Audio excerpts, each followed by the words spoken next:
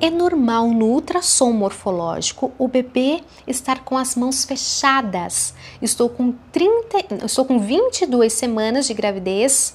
Obrigada, amo seus vídeos, tá? Minha linda. O bebê, ele ele fica se movendo ali dentro da barriga.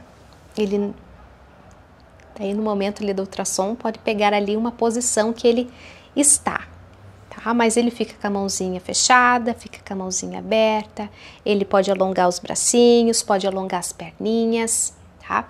Não tem assim numa posição que o bebê vai estar uma, tem uma posição oficial ainda com 22 semanas, porque o bebê também tem muito espaço ali dentro do útero. Então ele pode ficar com a cabecinha voltada para baixo, ele pode ficar assim, ó, na transversal da barriga, tem espaço para ele ficar assim. Ele pode ficar sentadinho com o bumbum aqui para baixo, pode também ficar, tá?